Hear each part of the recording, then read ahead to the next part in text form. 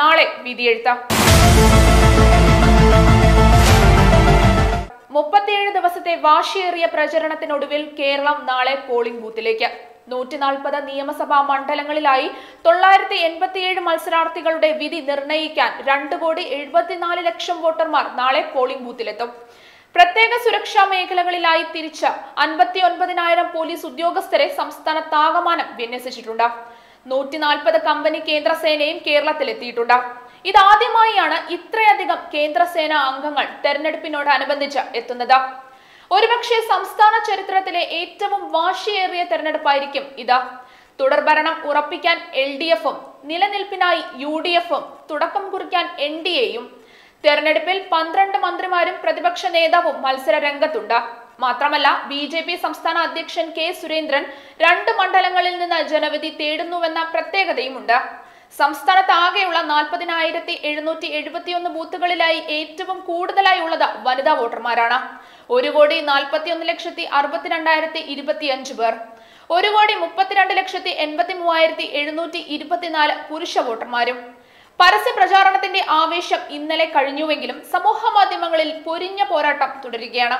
നൂറ്റി നാൽപ്പത് മണ്ഡലങ്ങളിലായി നാല് ലക്ഷത്തി മുപ്പത്തിനാലായിരം ഇരട്ട വോട്ടർമാർ ഉണ്ടെന്നാണ് കണ്ടെത്തൽ. ഈ വസ്തുത ശരിയെങ്കിൽ ഓരോ മണ്ഡലത്തിലും ശരാശരി മൂവായിരം ഇരട്ട വോട്ടുകൾ ഉണ്ടെന്നർത്ഥം. തെരഞ്ഞെടുപ്പ് കഴിഞ്ഞാലും വിവാദത്തിനുള്ള വകയുണ്ടെന്നർത്ഥം. മൂന്ന് മുന്നണികളുടെയും പ്രചാരണ രംഗത്തും വനിതകളുടെ ശക്തമായ സാന്നിധ്യം ശ്രദ്ധേയമാണ്.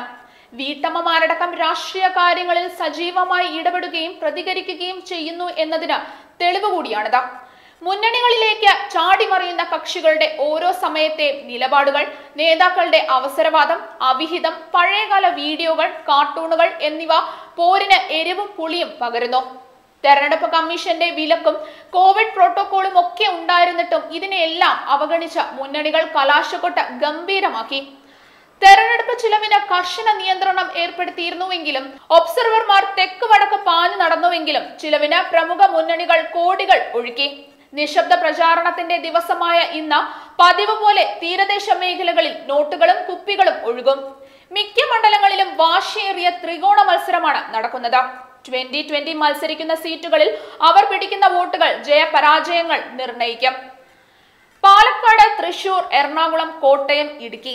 കേരളം ആര് ഭരിക്കണമെന്ന് തീരുമാനിക്കുന്നത് മധ്യ കേരളമാണെന്ന് പറഞ്ഞാൽ അതിൽ അതിശയോക്തിയില്ല. ഈ അഞ്ചു ജില്ലകളിലായി അൻപത്തിമൂന്ന് മണ്ഡലങ്ങളാണ് ഉള്ളത്. രണ്ടായിരത്തി പതിനാറിലെ നിയമസഭാ തെരഞ്ഞെടുപ്പിൽ അൻപത്തിമൂന്നിൽ മുപ്പത്തിരണ്ടും ഇടതുപക്ഷം നേടി. ഇരുപത്തിയൊന്നെണ്ണം യു ഡി എഫും അതിൽ തന്നെ തൃത്താല തൃശൂർ കളമശ്ശേരി കോതമംഗലം പാല പൂഞ്ഞാർ ഏറ്റുമാനൂർ ഇടുക്കി എന്നീ എട്ട് മണ്ഡലങ്ങളിലാണ് തീവാറും പോരാട്ടം നടക്കുന്നത്. ഇത്തവണ ഭരണം പിടിക്കേണ്ടുന്നത് കോൺഗ്രസിന്റെ നിലനിൽപ്പിന്റെ തന്നെ ആവശ്യമാണ്.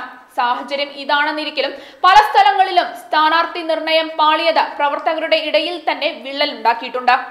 എ കെ ആന്റണിയുടെ പ്രത്യേക താൽപര്യപ്രകാരം ഡോക്ടർ എസ് എസ് ലാലിനെ കഴക്കൂട്ടത്ത് സ്ഥാനാർത്ഥിയായി പരിഗണിച്ചത് ഇതിന് ഉദാഹരണമാണ്. പാലക്കാട് മത്സരിക്കുന്ന മെട്രോമാൻ ഇ ശ്രീധരൻ മഞ്ചേശ്വരത്തും കോന്നിയിലും മത്സരിക്കുന്ന കെ സുരേന്ദ്രൻ കഴക്കൂട്ടത്ത് മത്സരിക്കുന്ന ശോഭ സുരേന്ദ്രൻ നേമത്ത് മത്സരിക്കുന്ന കുമ്മനം രാജശേഖരനും തിരുവനന്തപുരം മണ്ഡലത്തിൽ കൃഷ്ണകുമാറും വിജയ സാധ്യതയുള്ള സ്ഥാനാർത്ഥികളായി രാഷ്ട്രീയ നിരീക്ഷകർ വിലയിരുത്തുന്നു. പിണറായി വിജയന്റെ വ്യക്തിപ്രഭാവത്തിൽ ഇത്തവണ തുടർ ഭരണം ഉറപ്പാണെന്ന് ഇടതുപക്ഷം ഉറപ്പിക്കുന്നു. വിധിയെഴുത്തിന് ഇനി മണിക്കൂറുകൾ മാത്രം.